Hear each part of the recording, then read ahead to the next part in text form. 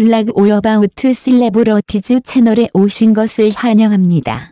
오늘의 최신 소식을 놓치지 않도록 채널을 구독해주세요. 오늘 뉴스레터에는 다음과 같은 소식이 포함되어 있습니다. 나는 솔로 16기, 그토록 뜨거웠던 이유. SBS 플루스너 나는 솔로 16기가 말도 많고 탈도 많던 여정을 마무리했다. 이번 나는 솔로 16기는 방송 내내 화제를 몰고 다녔던 역대급 기수였다. 계속해서 시청률이 상승하며 6%의 벽까지 뚫어냈고 최종 선택 이후 진행한 라이브 방송에서는 만 명이 넘는 시청자가 몰렸다. 평균적으로 오물개 6만 명대의 시청자가 참여하는 것과 비교하면 그 인기를 실감할 수 있다. 그렇다면 나는 솔로 16기는 왜 이렇게 많은 사랑을 받았을까? 이번 기수는 이혼의 아픔을 겪은 출연자들이 모인 돌싱 특집으로 꾸며졌다. 지난해 8월 방송된 첫 돌싱 특집 10기가 많은 유행어를 낳고 패러디 열풍이 부는 등 화제를 모았기 때문에 이번 16기 역시 기대를 받은 채로 시작했다.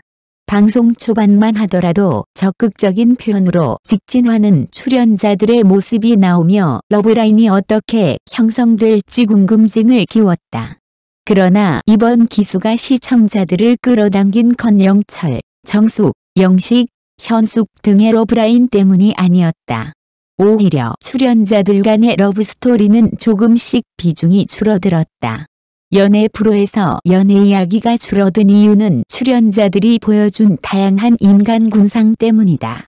낮은 자존감으로 타인을 지나치게 의식해 선입견을 가지게 된 출연자, 출연자들 사이를 넘겨짚어 제멋대로 사실과 다른 여론을 조성하는 출연자, 이런 여론에 지나치게 휘둘려 스스로의 기준으로 판단을 내리지 못한 출연자 등 매 에피소드마다 소위 말하는 빌런이 등장했다. 특히 나는 솔로의 출연자들은 방송을 주업으로 삼는 연예인이 아니다. 방송과 거리가 멀지만 사랑을 찾기 위해 프로그램을 택한 사람들이다. 이들은 방송이 끝나면 각자의 일상으로 돌아간다. 다시 말하면 내 주변에도 저런 사람들이 있을 수 있다는 뜻이고 누군가는 이미 저런 사람을 겪어봤을 수도 있다. 혹은 내가 바로 저런 사람일 수도 있다는 자성의 시간을 가질 수도 있다. TVN 화면을 통해 진행되는 사건들이지만 자신과도 가깝게 느껴지다 보니 시청자들이 TV 앞을 떠날 수 없었던 것이다. 그렇다고 16기가 단순한 빌런 대잔치였기 때문에 사랑을 받은 건 아니다.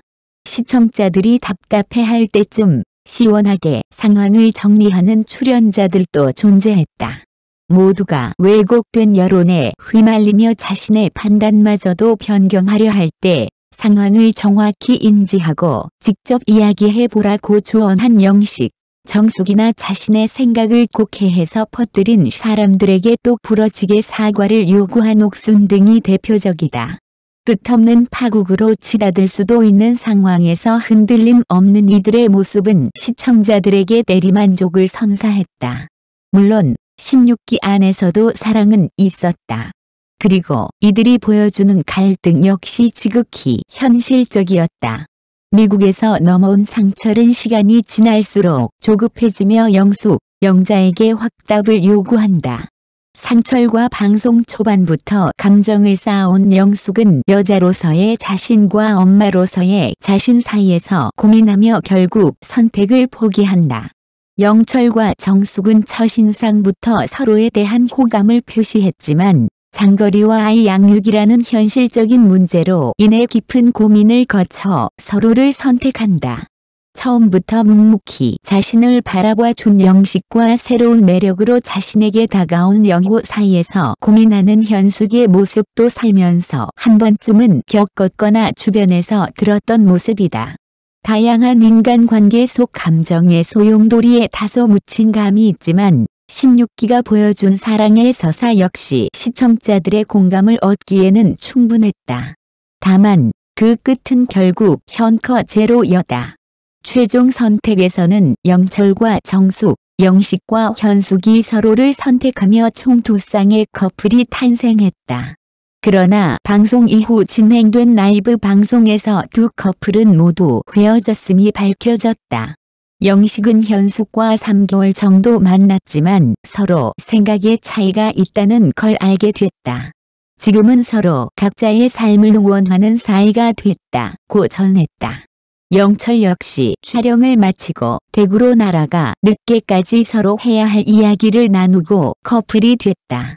그리고 서로의 상황에 부딪히게 됐고 3주 전쯤 아름답게 이별했다고 밝혔다.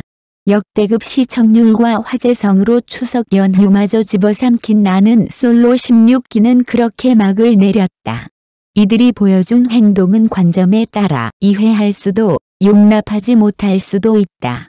그러나 이들의 행동을 용납할 수 있다는 점이 이들에 대한 비난으로 이어져도 된다는 뜻은 아니다.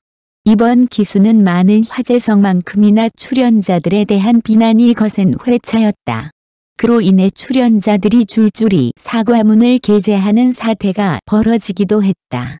오히려 그들이 그만큼 가식 없는 모습으로 프로그램에 임했고 나는 솔로 역시 이를 여과 없이 보여주며 그 감정을 온전히 전달했다는 의미로 받아들여야 한다.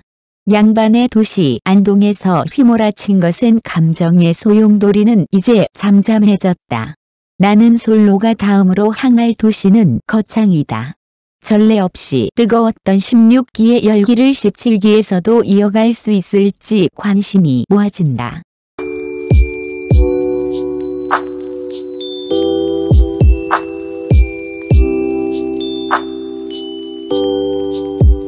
연인 아는진 드라마 OST 참여 큰 추억. 가사와 선율이 길 제 마음 대변. 드라마 연인의 주연 배우 안은진이 OST에 참여하게 된 소감을 밝혔다.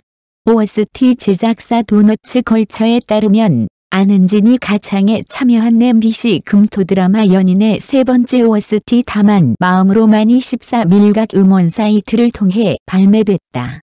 남국민, 안은진 주연의 연인, 기획 홍서구 연출 김성용 전수진 극본 황진영 은병자 호란을 겪으며 엇갈리는 연인들의 사랑과 백성들의 생명력을 다룬 휴먼 역사 멜로드라마로 안은지는 극중 능굴리에서 곱게 자란 애기씨 유길채 역을 맡았다.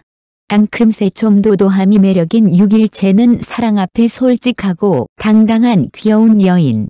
그런 6일체가 이장현, 남궁민 분 이라는 사내를 만나고 병자호란이라는 거대한 전쟁을 겪으며 들꽃처럼 강인한 여인으로 성장한다.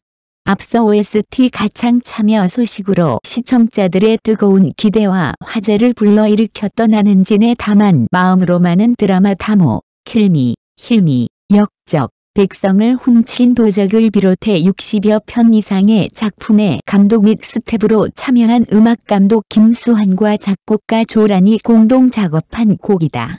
남녀 각각의 버전으로 공개되는 다만 마음으로만의 남자 버전은 뮤지컬 배우 카이가 여자 버전은 주연 배우 안은진이 부른다. 안은진은 드라마에 참여하는 것도 감사하지만 캐릭터의 마음으로 OST에 참여하게 돼 큰 영광이라고 생각한다. 연기뿐만 아니라 아름다운 노래로도 작품에 참여할 수 있어서 신기하기도 하고 잊지 못할 시간이 될 것 같다는 소감을 밝혔다. 또 자신이 부른 다만 마음으로만에 대해 가사와 선율이 길채의 마음을 대변하는 것 같았다. 이 노래가 장현과 길채의 애절한 사랑을 잘 담고 있다고 생각해서 노래에 더 집중할 수 있었다 고 작품과 곡에 대한 아낌없는 애정을 드러냈다. 다만 마음으로만은 몽환적인 기타 사운드와 스트링이 곡의 전체적인 분위기와 흐름을 아우르며 비엔나 현지에서 녹음한 15인조 스트링 세션이 들려주는 풍부한 현악 선율이 깊은 인상을 남긴다. 감정을 절제하며 읊조리듯 담담히 선율 위에 얹어 부르는 안은진의 섬세한 보컬은 사랑하는 이를 향한 길채의 애틋한 그리움을 고스란히 담아내며 극의 흐름과 완전한 조화를 이룬다. 특히 가만히 그대를 가슴에 숨겨본다는 가사 마지막 구절은 안은진의 단아한 목소리가 어우러지는 곡의 백미로 듣는 이들로 하여금 극의 몰입을 배가시킨다.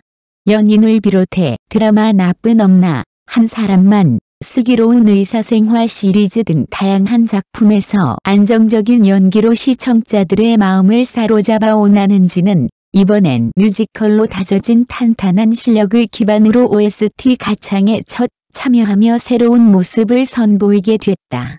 영상 시청해 주셔서 감사합니다. 뉴스레터가 유익하셨다면 좋아요, 댓글, 구독 부탁드리며 최신 정보를 받아보실 수 있습니다. 안녕하세요. 다음에 또 뵙겠습니다.